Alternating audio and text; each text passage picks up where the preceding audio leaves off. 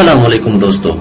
دہی میں صرف یہ چیز ملاؤ، بال بہت جلدی نکلیں گے۔ دوستو، اگر آپ بالوں کو بڑھانے کے خواہش مند ہیں، آپ کے بال نہیں بڑھ رہے اس طرح سے جیسے آپ چاہتے ہیں، آپ کی مرضی کے مطابق بال نہیں گرو کر رہے۔ پہلے آپ کی بالوں کی گروتھ ٹھیک تھی، لیکن بعد میں بہت زیادہ ویک ہوتی گئی۔ دوستو، اس کی بہت ساری وجوہات ہو سکتی ہیں اور ہوتی بھی ہیں۔ یہی کہ بہت زیادہ کھانا، بہت زیادہ سونا، بہت زیادہ ترش چیزیں کھانا، بہت زیادہ مرچ مسالوں والی چیزیں کھانا، یہ آپ کے بالوں کو بھی نقصان دے سکتی ہیں اور آپ کے موٹاپے کا سبب بھی بن سکتی ہیں، ٹھیک ہے؟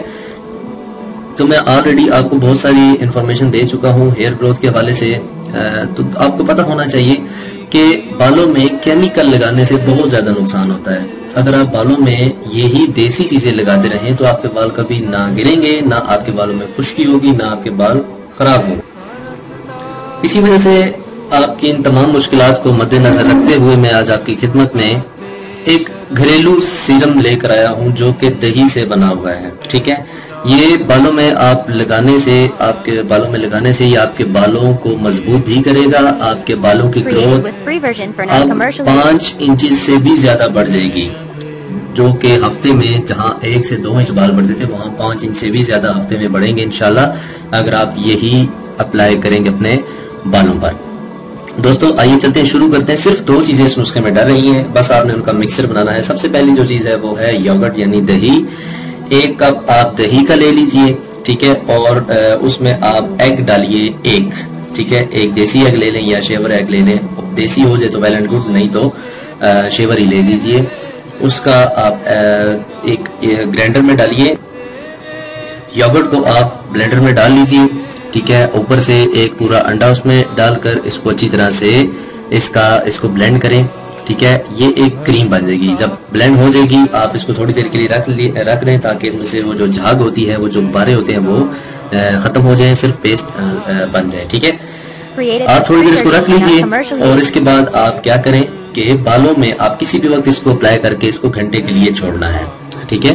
بالوں میں اچھی طرح سے آپ کسی شاپر کی مدد سے اپنے بالوں میں اس کو رب کریں لگائیں، یا پھر آپ گلوز پہن سکتے ہیں گلوز سے آپ اپنے، یا پھر برش سے بھی آپ کر سکتے ہیں، ٹھیک ہے؟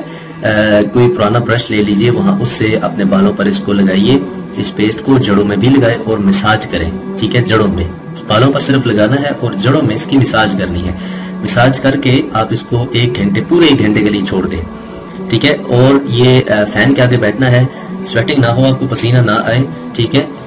جب آپ کے بال اکڑنے لگیں گے خشک ہو جائیں گے اکڑ جائیں گے پھر آپ نے جا کر اپنے سر کو واش کر لینا ہے ایک گھنٹے بعد ٹھیک ہے؟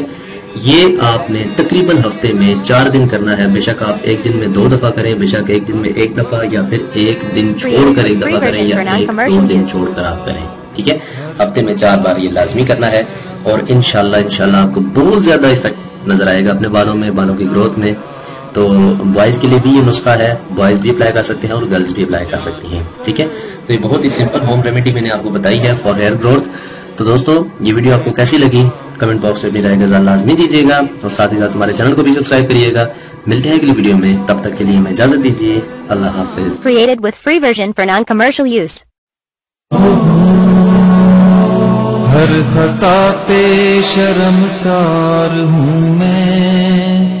اے خدایا گنہگار ہوں میں۔ جان کر بھول کر جو کیا ہے۔